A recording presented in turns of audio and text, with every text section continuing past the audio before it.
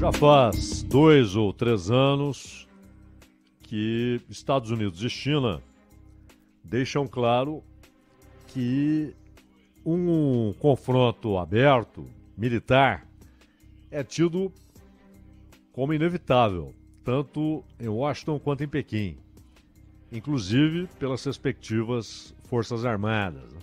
pelo tanto pelo comando civil das Forças Armadas Chinesas, que aliás tem como, como principal dirigente o próprio Xi Jinping, assim como pelo Pentágono.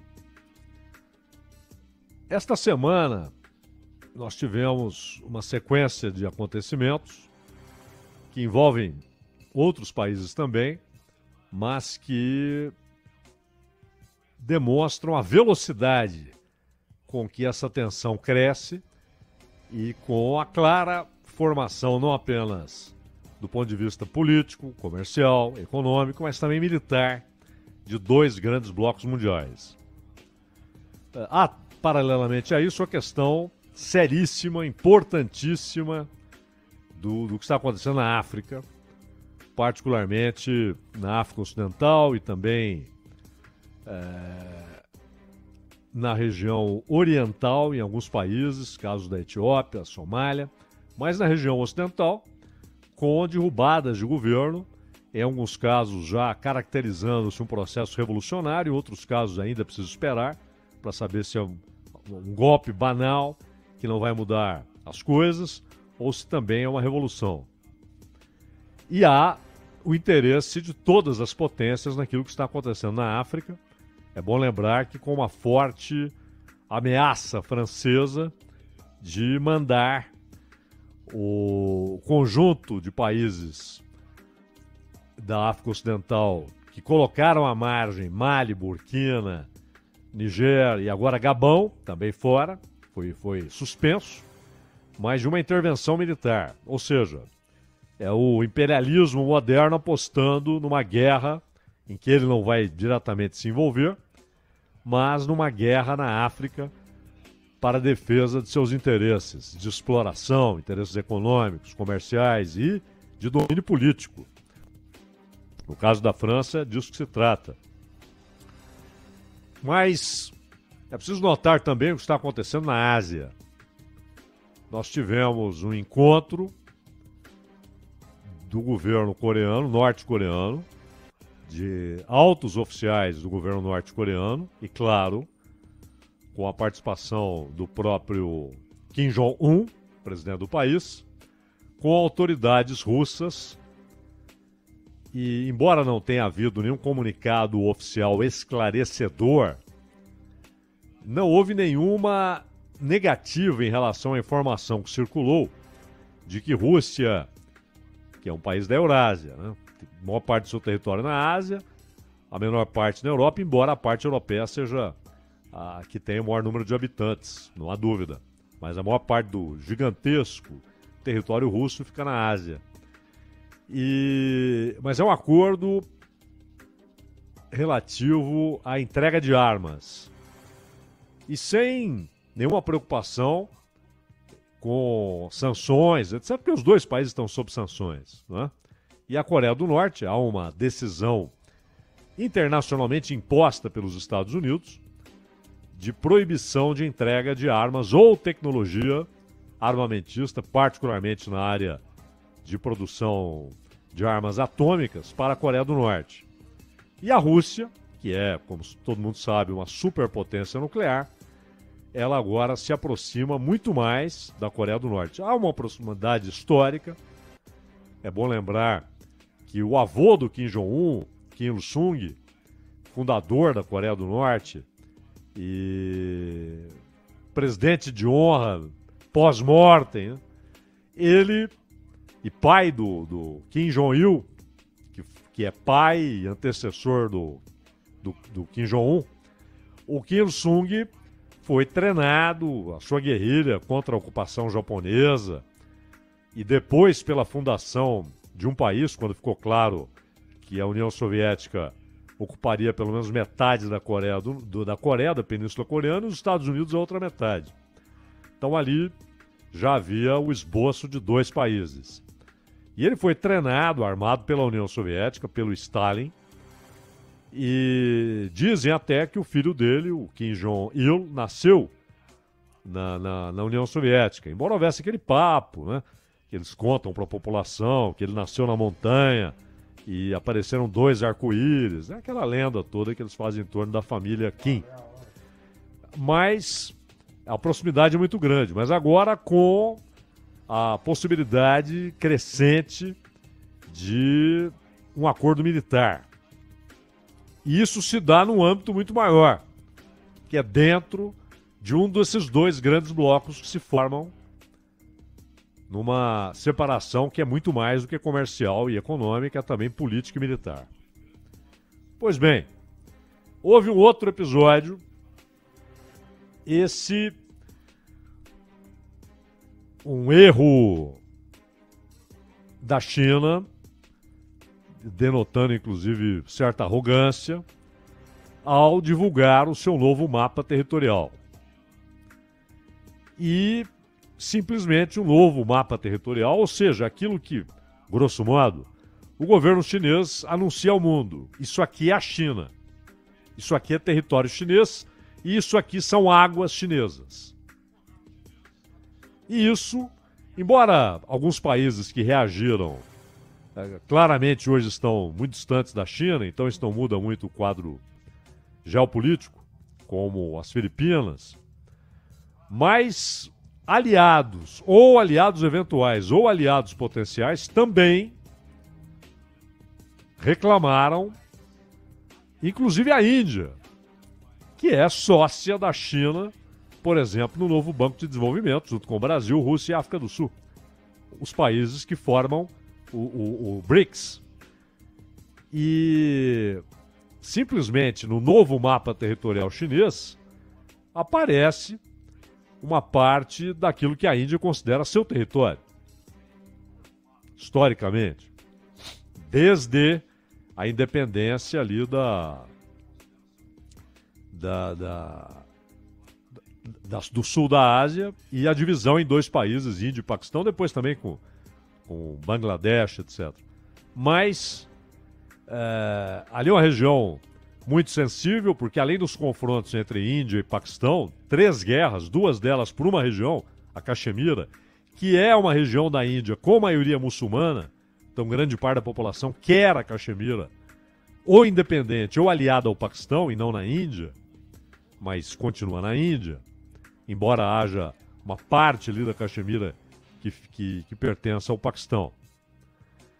E há uma fronteira que é até pequena pelo tamanho dos dois países, né? Índia e China, e a China mais ainda, ela tem quase três vezes o tamanho da Índia. E, e nessa fronteira, há dois anos, houve um tiroteio. Houve um tiroteio, morreram quatro soldados chineses, 20 soldados indianos, porque foi Apenas isso, um tiroteio, né? Não foi uma, o deflagrar de uma guerra. Então são, são números modestos, mas vias de fato. E dois países que compartilham o BRICS e o novo Banco de Desenvolvimento. E há nessa região uma disputa territorial. Interessante que o, o, o Modi ele chegou a se reunir com Xi Jinping na, na África do Sul para tratar exatamente desse assunto. E agora vem esse mapa territorial chinês que simplesmente considera aquela região, aponta aquela região como território chinês. E isso, quando você olha a divisão do mundo em dois grandes blocos, é um erro claro da China, né? porque abre desavenças com aliados potenciais, até porque o Vietnã também não gostou daquilo que a China divulgou como sendo seu território ou suas águas. O Vietnã também não gostou. O Vietnã está ali na Indochina, né? Uh, Vietnã, Camboja, Laos são países que formam o que era antigamente Indochina, ou seja, o território exatamente entre Índia e China. E não bastasse tudo isso, os Estados Unidos decidiram anunciar uma ajuda militar direta dos Estados Unidos para Taiwan. Ajuda militar. armas. E aqui há uma série de contradições na posição americana, porque quando você observa a história daquele arquipélago, que chamamos de Taiwan, né? mas Taiwan, na verdade, é uma das. a principal ilha, Ilha de Formosa, nome dado pelos portugueses, navegadores portugueses que lá chegaram. E no século XVII, ali 1640, 44, 45, os holandeses chegam, tomam parte da ilha principal, são expulsos depois pelos chineses, não sem antes haver um confronto entre Holanda e França. E Holanda e Espanha. Aliás, num período em que a Holanda libertava-se do domínio espanhol.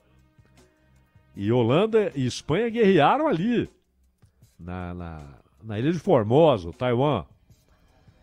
E, e claro, lá já havia gente que saiu do continente, da China, então China Imperial, né, em direção àquela ilha.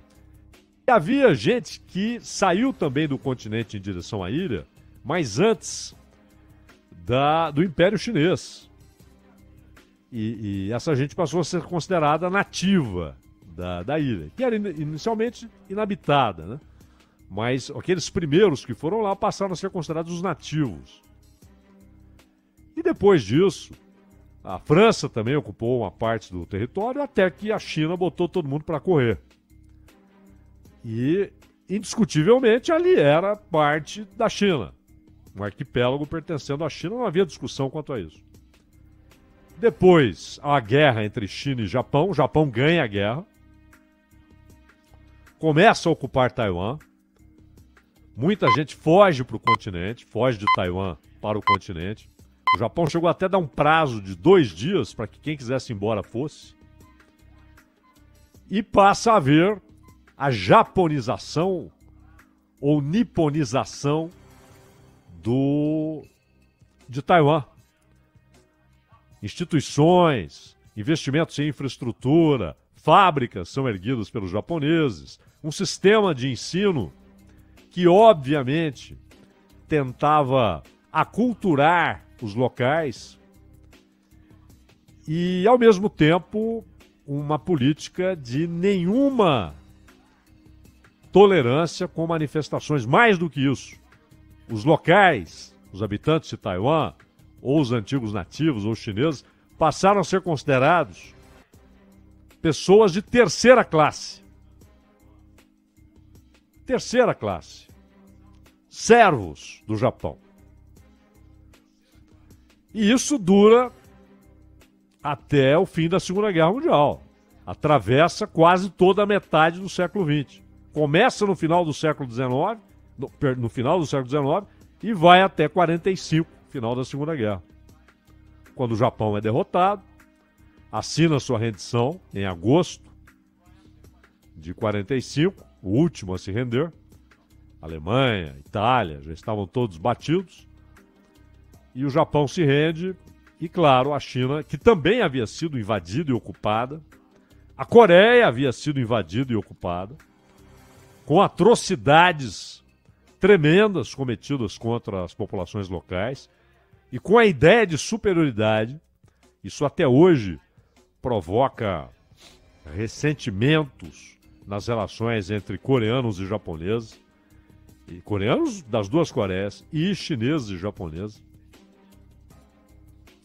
Fato é que a guerra civil que havia começado em 1927 entre comunistas e nacionalistas, terminada a Segunda Guerra, ela reaparece os comunistas e os nacionalistas do Chiang Kai-shek que presidia desde 28 a República Chinesa. A China havia se tornado república em 1912, né?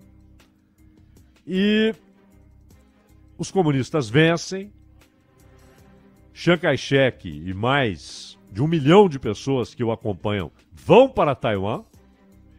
Lá, ele declara que está o verdadeiro governo chinês. O Ocidente imediatamente reconhece Chiang Kai-shek como governante legítimo.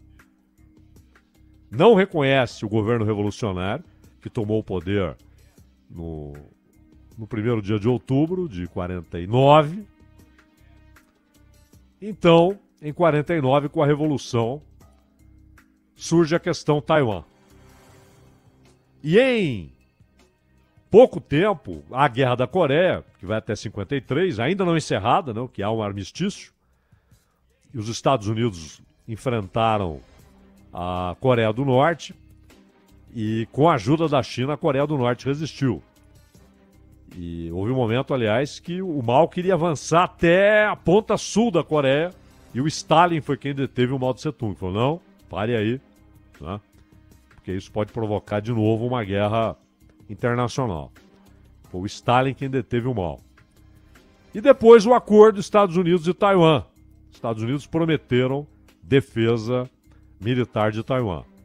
A China com a fundação da ONU em 45, ela tinha cadeira e assento permanente e poder de veto.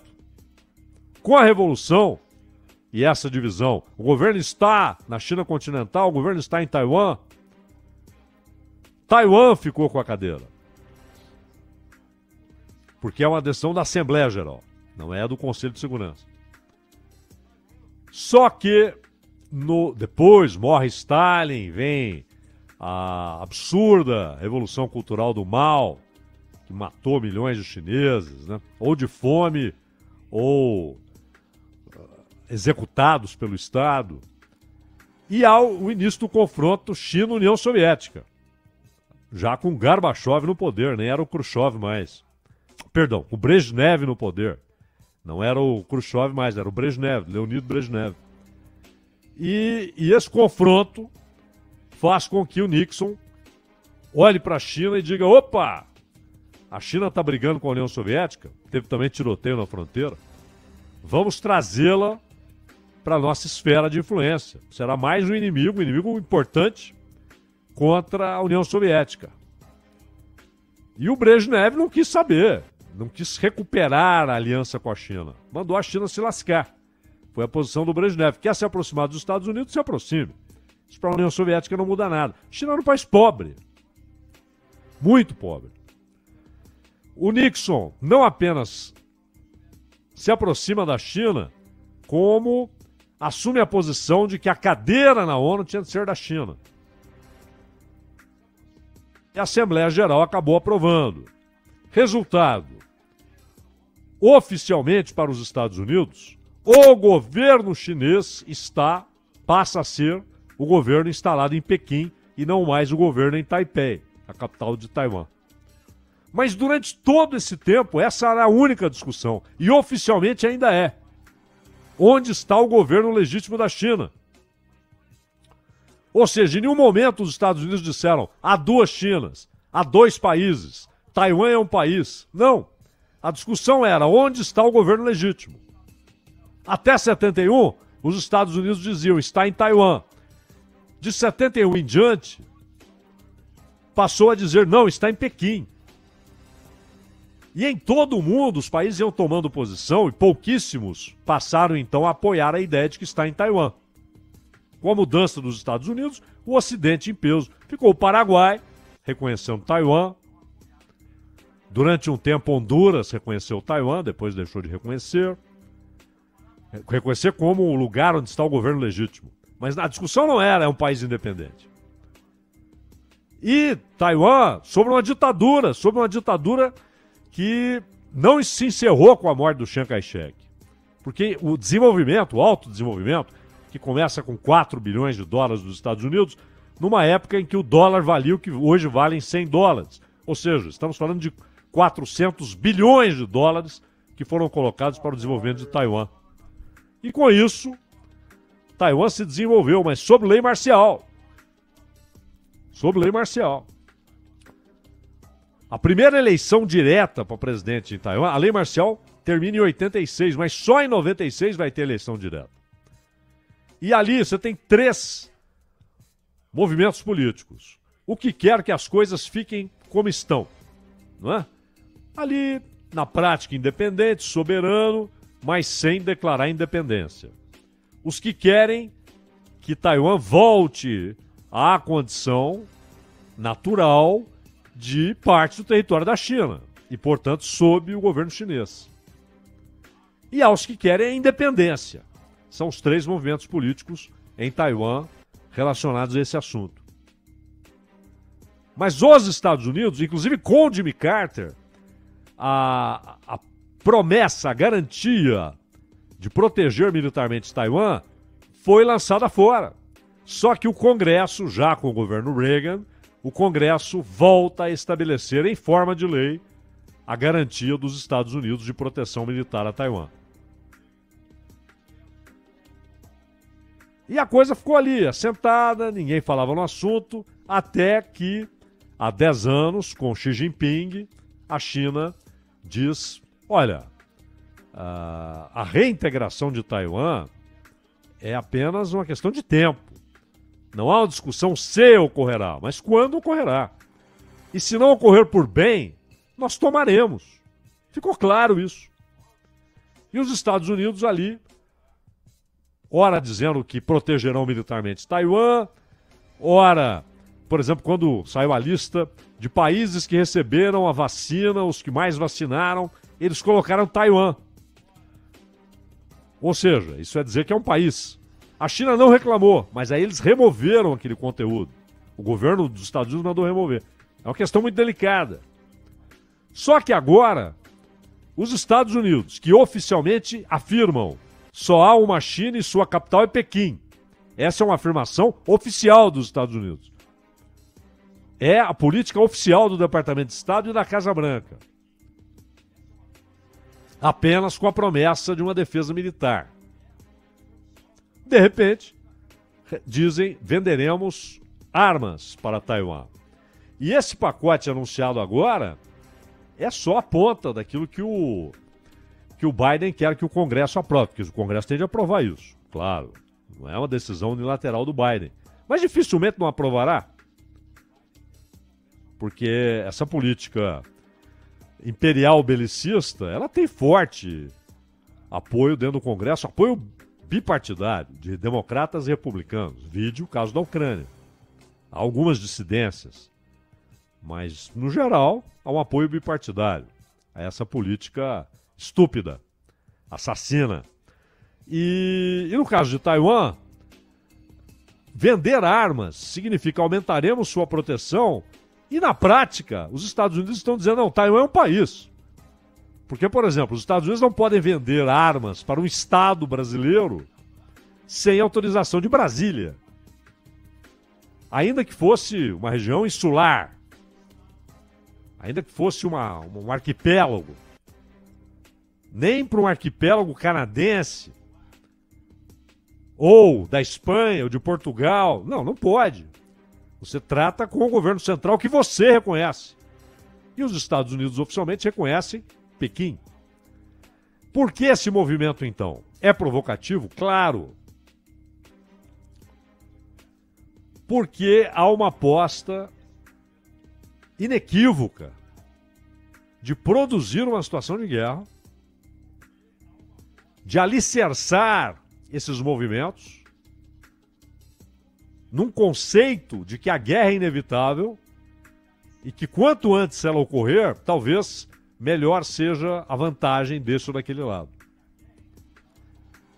Então, todos esses acontecimentos, inclusive o que está acontecendo na África, uma aproximação ainda maior da Rússia com a Coreia do Norte em termos militares, e a caracterização, parece definitiva, desses dois gigantescos blocos econômicos, comerciais, políticos e militares.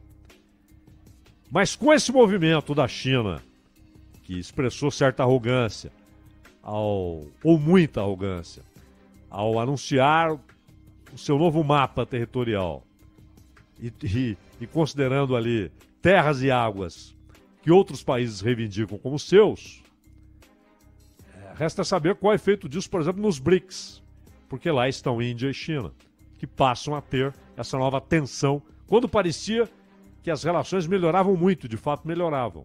Mas esse mapa, divulgado pela China, azeda um tanto quanto a relação com a Índia e tem, claro, até pela importância populacional, demográfica e econômica dos dois países, impacto nessa nova lógica geopolítica do mundo. Ronald.